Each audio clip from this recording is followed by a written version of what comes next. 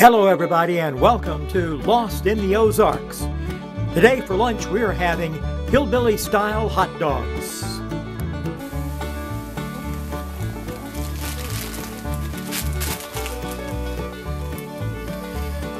Let those hot dogs boil up real good. Then I'll show you how to make a hillbilly hot dog. Now, once your hot dogs become warm, get yourself some tongs and take those puppies right out of the water. Shake them off a little bit because you don't want a lot of water on those hot dogs over there. And put this one over there like that.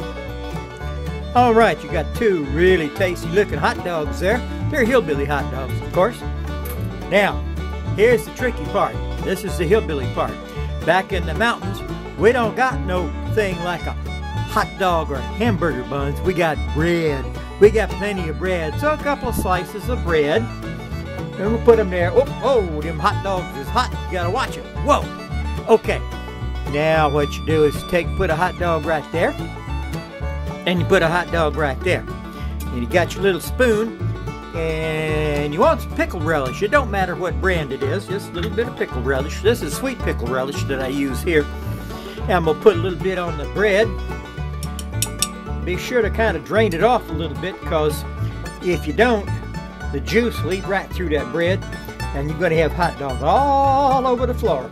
You don't want to do that unless you got a big old dog and dog like that hot dog. But with the price of hot dogs, you don't want to be giving them hot dogs away to the puppies, right? Now, after that, you got to have something to hold it all together.